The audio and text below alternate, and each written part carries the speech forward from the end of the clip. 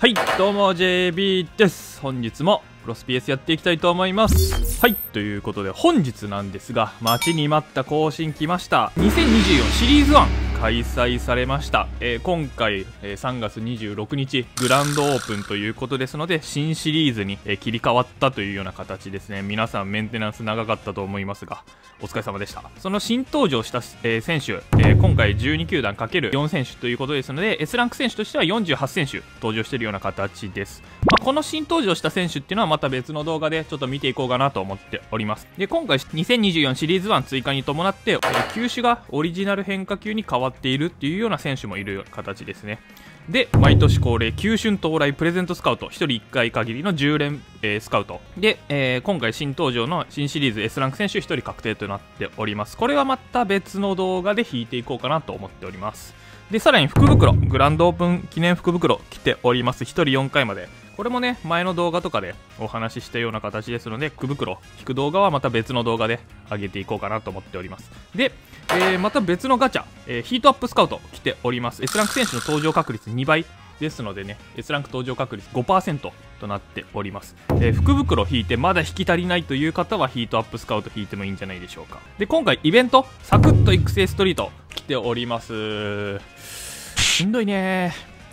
グランドオープン一発目のイベントこれかしんどいね。というような形ですので本日の動画はこのサクッと育成ストリートの攻略動画上げていこうかなと思っております。でさらにサクッと育成ストリートは、えー、コストイベントとなっておりますので、えー、V ロード感謝祭一緒に開催されております。V ロード回っていただいて試合すると200ポイント。でその試合に勝つとプラス100ポイント合計300ポイントイベントポイント稼げますのでそれにポイントに応じて累計報酬もらえるような形です、えー、最後の S ラン確率30%契約書まで獲得するようにしましょうでさらにリアタイが2024第1期ランク戦スタートとなっております。えー、機が変わったということですので、リアタイ入ってもらえれば、えー、ランク戦の、えー、自分が到達しているランクに応じてエナジーもらえますので、まだ獲得してない方はもらってください。といったような、えー、もろもろが来ておりましたので、本日はこのサクッと育成ストリートについてお話ししていこうかなと思っております。それでは、行きましょう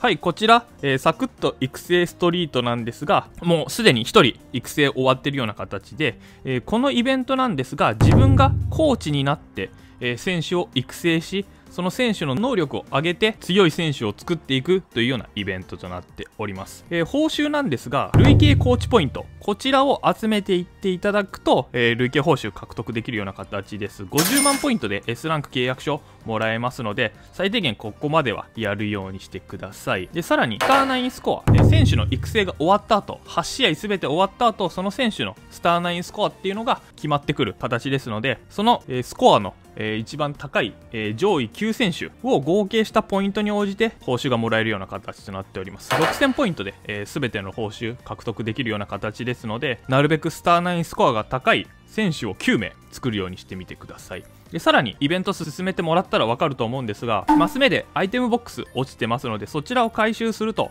8試合終わった後、え、獲得できますのでれはなるべく獲得するように止まってみてください。ではちょっとイベントやっていこうかなと思うんですが一番最初投手か野手を選択することが可能となっております。もう選んだらその選手しかえ、操作ができないので自分がやりやすい方を選んでみてください、まあ、やりやすい方とかやってみたい方ですね、えー、ただねこれ投手と野手。野手の方がすっごい簡単ですね。野手の方のがスターナインスコアめちゃくちゃ稼げるような形となっております。ですのでねまずは野手。やっていこうかなと思っております。一番最初この3選手の中から誰か1人を選んでいくんですがもうこれはスタースコアが高い選手を選ぶようにしてください。今回この小池ですね。小池で始めますその後に育成目標の選択がありますのでこれも一番高い現状ですと私今ノーマルですのでこのノーマルを選択するようにしてください。で選手の育成が全8試合終わった後この獲得コーチポイントが加算されますのでなるべく選択できる一番高い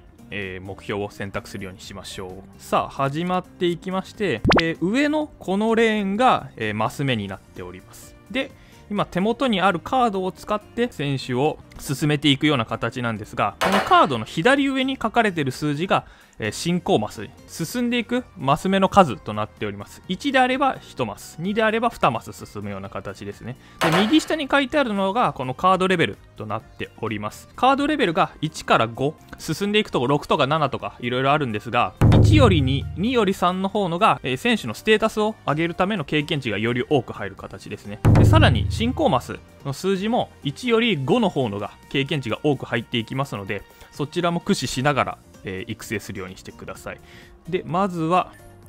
1やな。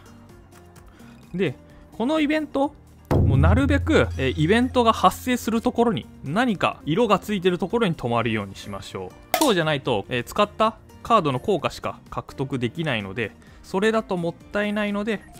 なるべくイベントが発生するところに止まりましょういや弾道上げたいね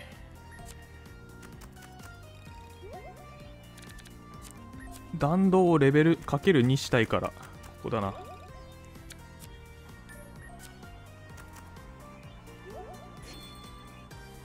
で今ここでデビュー戦試合マス。試合マスっていうのは必ず止まらなければいけないマス目になってるんですが、えー、試合マスに対して、えー、例えばこの5を使った時に5マス以上進めなくて絶対ここに止まります。ただ進行度が5分の経験値は反映されますのでこの試合直前っていうのはなるべく大きい数字を使った方のがいいっていうのがあります。ただこの試合が終わってから今手元にあるカードは、えー、継続になりますのでその次で、えー、かける2とか踏みたい場合はそのかける2を踏めるだけの進行マスがあるカードは残しておく必要があるのでそこのね手札の使い方っていうのは、えー、重要になってくるところかなと思われます。これで試合を行う際にイベントコストを消費して、え試合を行っていくような形となっております。でこのイベントスタースコアをただ上げたいとかもう周回だけ累計報酬をちゃっちゃと回収しきりたいっていう方は活躍ポイントはね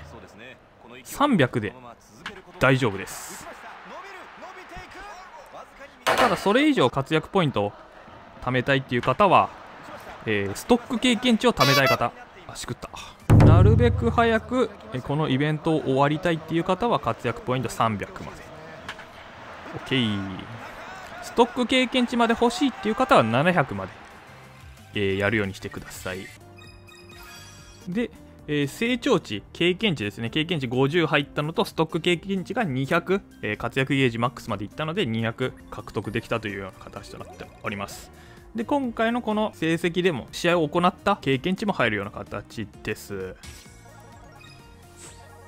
で、この1節各、えー、試合を終わったら、その節の、えー、評価ということで、すごろくで獲得した数値と、試合で獲得した数値、スタースコアが、えー、23あ、え獲得できたというような形となっております。で、この 23×100 ポイントが、え累計コーチポイントという風な形となっております。ですので、累計コーチポイント、えー、50万で S ランクの契約書となっておりますので、スタースコアは全部で500集める形となっております。でここから2節が始まって1選手、えー、全8節まで8試合行って育成が完了という風になっておりますですのでなるべく、えー、1回の、えー、節でより多くのスタースコアを獲得していくと、えー、より早くえ累計報酬獲得し終わることができますのでそちらも意識しながら進めてみてください、え、サクッと育成ストリートという名ばかりのかなり面倒くさいイベントとなっておりますがなるべく早く終わらせるためにやってみてください。で、えー、累計報酬すべて獲得し終わった後でもイベントコストで、え、スタミナを消費しないイベントとなっておりますので試合を行うごとに、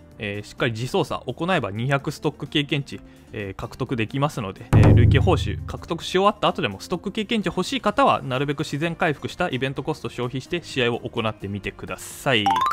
はいということで本日は新しく来たサクッと育成ストリートについてお話ししてきました、えー、明日の動画をねちょっと貯めた契約書がっつり開封していこうかなと思っております、えー、皆さんすでに今回グランドオープン来てどんな選手獲得できましたでしょうか？無料スカウトとかの結果ぜひとも書いてみてください、えー、本日の動画が良かった参考になったという方高評価チャンネル登録ぜひともよろしくお願いします。それではまた次回の動画で会いましょう。